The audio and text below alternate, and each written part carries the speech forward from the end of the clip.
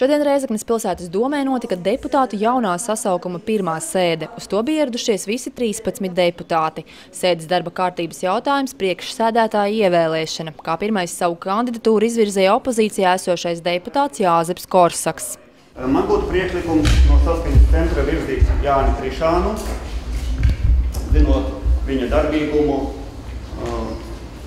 saimniecisko, gan arī tādu nosvērtību varbūt salīdzinot ar iepriekšējo uh, domes priekšsēdētāju, kurš vairāk bija autoritatīva vadības stils un ir arī pievērstas varbūt tādas diezgan būtiskas kļūdas. Man būtu priekšlikums tātad par Jāni Krišānu. Liels paldies cienījumam kolēģim, bet es laikam atteikšos, jo man vēl ir daudz neizdarīti darbi. Mēs zinām, ka pa saskaņas centru ir nobalsojuši gandrīz puse pilsētnieku, Un ejot uz vēlēšanām, arī saskaņas centrs par, par līderi ir izvirzījis Aleksandru Bartašēcu. Nu, cik nu tas autoritīvi, bet pilsētnieki viņi ir izvirzījuši.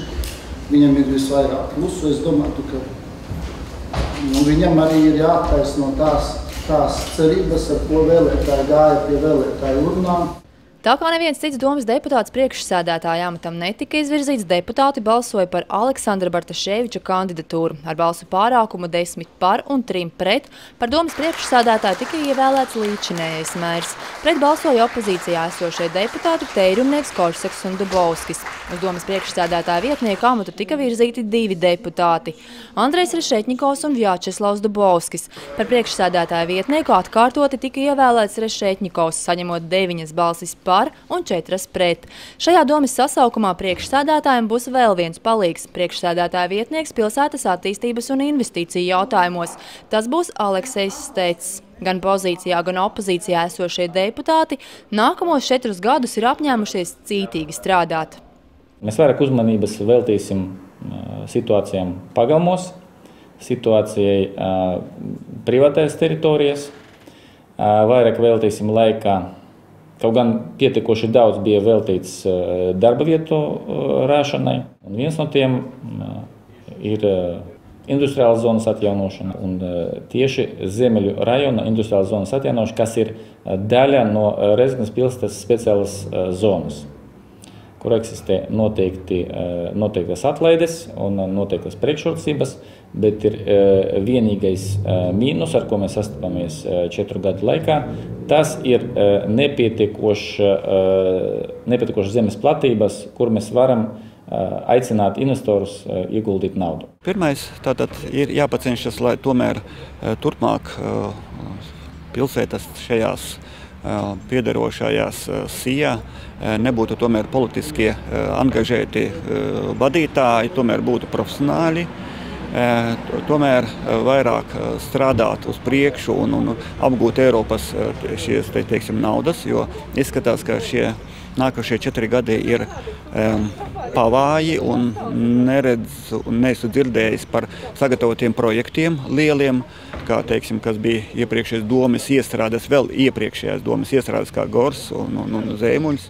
Reizeknas pilsētas domē no 13 deputātu vietām vairākums jeb astoņas ir saskaņas centram. Šis pārsvaras pozīcijai dot iespēju strādāt arī bez opozīcijas līdzdalības. Ar to, ka uh, neieklausīsies un, un, un ignorēs, zaudēs tikai uh, pozīciju un zaudēs iedzīvotāji, zaudēs pilsēta kopumā ņemot. Jo mm, mēs esam gatavi strādāt, tā skaitā es esmu gatavs un domāju, enerģijas pietiks, veselības pietiks. Idejas nav fantastiskas, jā. Mēs nedomājam, ka būtu jārealizē tāds projekts, kā, kā te tika izteikts, ka vajadzētu mums atomelektrostaciju te būvēt. Paldies Dievam, ka vēl neizdomājot Baikonūra pārvest uz Rēzekni. Ja?